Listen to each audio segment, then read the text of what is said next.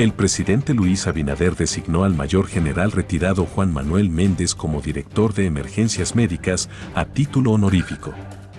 La Dirección de Emergencias Médicas forma parte del Servicio Nacional de Salud, SNS, y de acuerdo con el decreto desempeña un rol fundamental como una de las instituciones de respuesta del Sistema Nacional de Atención a Emergencias y Seguridad 911, al ser la entidad encargada del despacho oportuno de ambulancias y personal, en ocasión de los llamados de auxilio tramitados por el Sistema 911.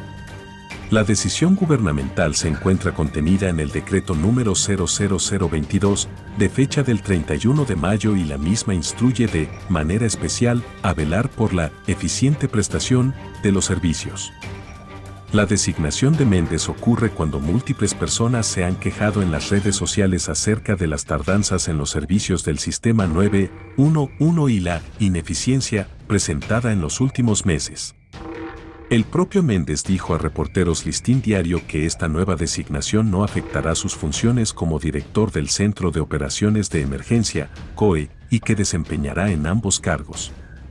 Estaremos en ambas instituciones ayudando al presidente en lo que necesite, expresó el mayor general al ser contactado por reporteros de este medio.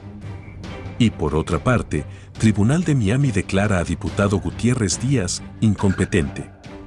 El diputado dominicano Miguel Andrés Gutiérrez Díaz, Santiago, quien está preso en Miami, Estados Unidos, bajo acusación de narcotráfico internacional, fue declarado este miércoles incompetente por un tribunal de esa ciudad para ser procesado judicialmente. Un juez federal de Miami ordenó que Gutiérrez Díaz, del oficialista Partido Revolucionario Moderno, PRM, fuera trasladado a un centro de la Oficina de Prisiones Federales con servicios médicos debido a los problemas mentales que presenta, reporta la versión digital del periódico El Nuevo Herald. El congresista fue puesto en vigilancia de suicidio por haber intentado en dos ocasiones atentar contra su vida mientras estuvo preso en la prisión federal de Miami, agrega la nota. El traslado del reo busca, reseña la información, el restablecimiento de su competencia. La decisión del juez deja el caso en suspenso por ahora, dijo el miércoles al Miami Herald el abogado del acusado, Denis Urbano. El abogado aseguró que su cliente no explorará un acuerdo de culpabilidad ni optará por un juicio hasta que se determine que es competente para entender la naturaleza de los cargos en su contra y cómo proceder con su defensa. La noticia prosigue. Desde su arresto, se retiró de tres audiencias judiciales en las que se esperaba que se declarara culpable.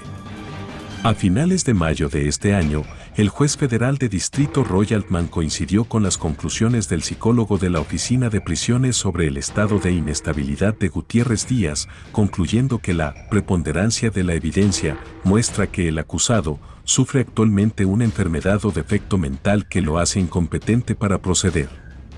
Gutiérrez Díaz fue apresado en mayo del año 2021 en el Aeropuerto Internacional de Miami. El político había llegado para la graduación de su hijo sin saber que él y otros tres enfrentaban una acusación de un jurado de instrucción.